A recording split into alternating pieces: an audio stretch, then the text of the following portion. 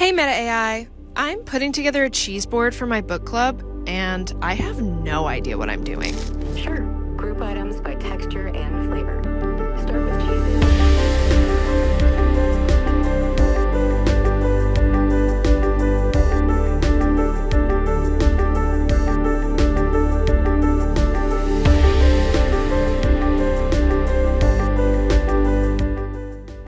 right? Because I mean, our, our bet is sort of that in the next year, probably, you know, I don't know, maybe half the development is going to be done by AI as, as opposed to people, and then that will just kind of increase from there.